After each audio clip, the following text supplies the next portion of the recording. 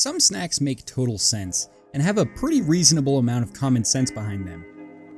Of course, people eat tree nuts, fruits, vegetables, and even slicing up potatoes and turning them into chips has some level of logic that we can all grasp. But what about popcorn? Not only is the process of turning corn kernels into a movie time snack some sort of bizarre black magic, but how was it discovered anyways? And how did it reach the level of incredible popularity that it has today?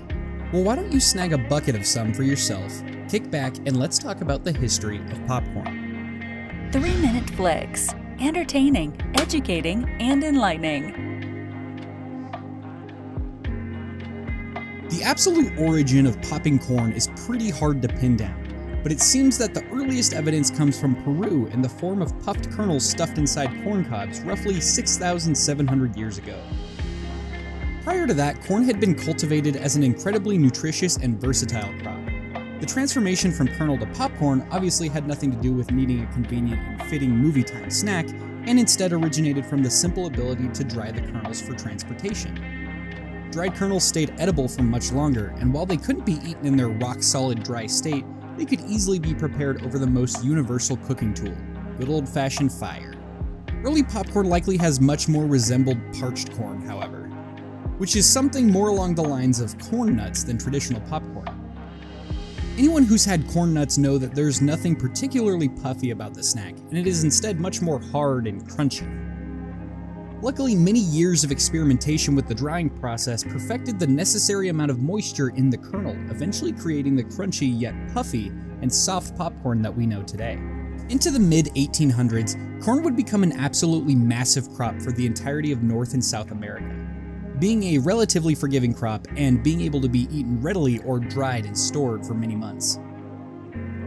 However, popcorn's massive explosion in popularity wouldn't be until 1885, when Charles Cretors invented a portable electric machine capable of popping kernels in oil and freeing the vendor up to migrate with the crowds.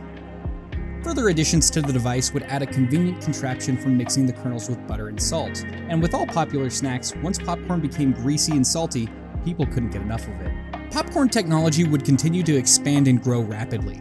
For a salty and sweet snack, popcorn would be coated in sugar or molasses, and different spices could be used to distinguish a merchant's kernels from other stands.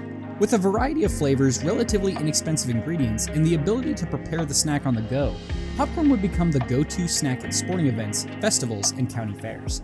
In the early to mid 1900s, Movie theaters flooded across America, and while snacks and drinks would originally be banned from the earliest theaters who strived to uphold an atmosphere of grandeur and class, eventually the call of crisp American dollars would shred that ban off entirely.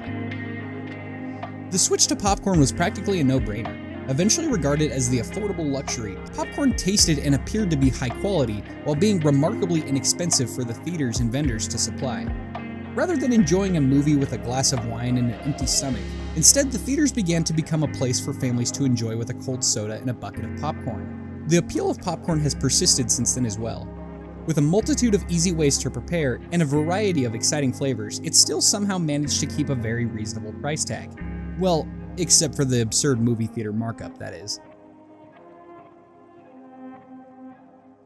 3 Minute Flicks. Don't forget to subscribe and hit the notification bell. We create new videos weekly.